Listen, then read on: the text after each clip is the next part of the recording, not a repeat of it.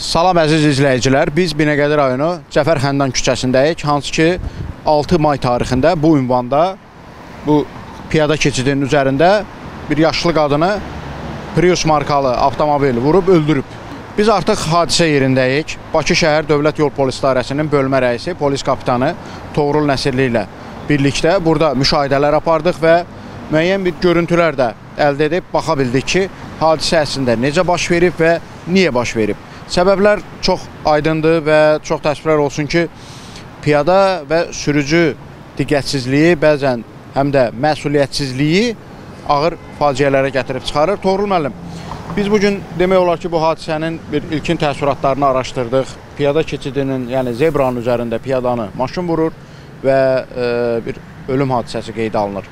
Nə baş verdi, niyə baş verdi və biz sürücülərə və piyadalara nə kimi çağırışlar edə bilərik ki, ümumiyyətlə bu yol hərəkətində e, hərəkət iştirakçısı olaraq çox diqqətli və təmkinli olsunlar. Bəli, e, may ayının 6-sında saat 16:00 radələrində paytaxtın Binəqədi rayonu Cəfər Xəndan küçəsində piyadanın ölümü ilə nəticələnən ağır yol nəqliyyat hadisəsi baş verib və təəssüflər olsun ki, dəfələrlə edilən xəbərdarlıqlara baxmayaraq bu gün sürücülər, eləcə də piyadalar qaydalara səthi şəkildə yanaşırlar ki, nəticədə belə xoşa gəlməz hallar baş verir. Hansı ki, gördüyünüz kimi ərazidə piyada keçidi yol nişanını göstərən iki tərəfdə nişanlar mövcuddur və sürücü ilk növbədə diqqətli olmalıdır, nəzərə almalıdır ki, artıq piyada keçidinə yaxınlaşır və sürəti nizamlamalıdır ki, piyada keçdiyi təqdirdə onun rahat və təhlükəsiz hərəkətinə zəmin yaratsın.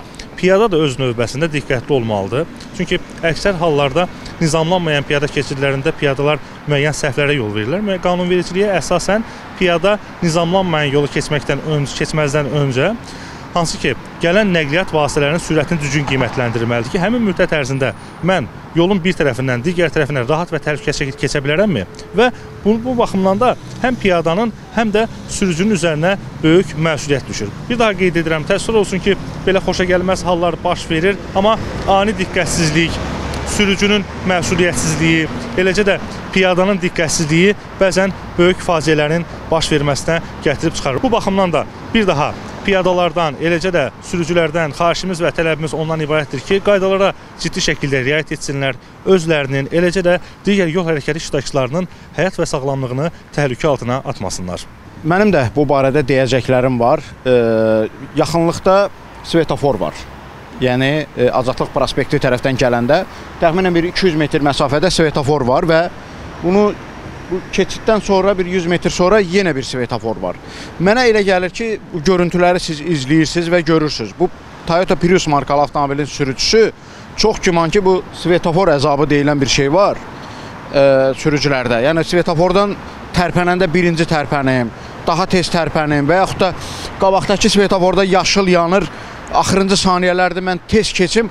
Mənə elə gəlir ki, yəqin ki, bunun detalları tam araşdırılacaq bu sürücü hardasa o svetofordan tərpənib, bu svetoforda qırmızıya düşməmək üçün o sürəti yığmışdı. Yəni kifayət qədər e, sürət var idi orada və qoşa xəttin üstündə, zebranın üzərində bir insanı vurmaq, yəni sürücü üçün tam aşkar bir şəraitdə bu qəzanı törətmək doğrudan da yəni bir biabırçılıqdır. Yəni bu sadəcə ya tələskənlikdir, ya diqqətsizlikdir, ya fikri maşında e, telefonda olubdu, yolda deyil fikri.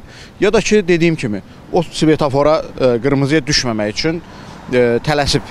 İndi baxın, qırmızıya düşməməyin faciəsi nə oldu?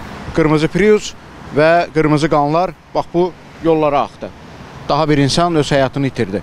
Diqqətli olmalıyıq əziz sürücülər və piyadalar. Toğrul müəllim də qeyd etdi. Piyada qismində yolu keçərkən biz əmin olmalıyıq ki, avtomobillər dayanıbmı və yaxud da yaxınlaşmaqda olan nəqliyyat vasitəsi varmı? Onun sürətini təxminən hesablamalıyıq ki, o bizi vura bilərmi, vura bilməzmi? Gəlib bu keçidin qabağında dayana bilər, dayana bilməz. Bir sürücünü ən azından görmək lazımdır ki, bəlkə heç baxmır yola. Bəlkə ürəyi tutub ölüb sükan arxasında, yəni maşın öz-özünə gedir. Yəni həyat da hər şey ola bilər və son günlərdə də biz e, son dövrlərdə də bunu e, görürük ki, nə qədər şan arxasında həyatını itirən insanlar var. Yəni hər birimiz diqqətli olmalıyıq. Sürücülər də bu nişanları üstün tutmalıdırlar. Burada piyada keçid nişanı var. Ola bilsin ki, orada e, Madeira hospitalın bir e, reklam lövhəsi nişanın qarşısını tutur. Burada bizim söhbət etdiyimiz e, vətəndaşlar da bunu qeyd etdilər. Sürücü qismində yaxınlaşanda Madeiranın e, reklam lövhəsi piyada keçidi nişanının qarşısını tutur, tutmur. Özünüz qiymət verəcəksiniz.